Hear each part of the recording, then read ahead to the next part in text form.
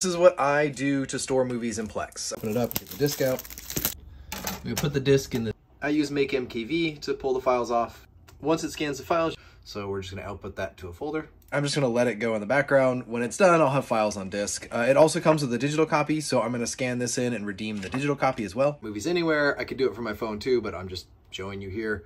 Uh, type in the redeem code, and now it's redeemed. If I want to play the movie on Apple, Prime Video, Vudu, or Google Play on YouTube, it's just available now.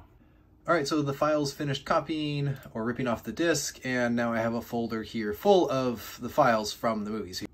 I just renamed the files to something that Plex likes, and now I'm just going to copy all those files into my Plex folder. The movie's available, and the last thing that I always do is I go ahead and optimize a couple versions. So I'll do that for maybe mobile if I want to take it with me on a plane.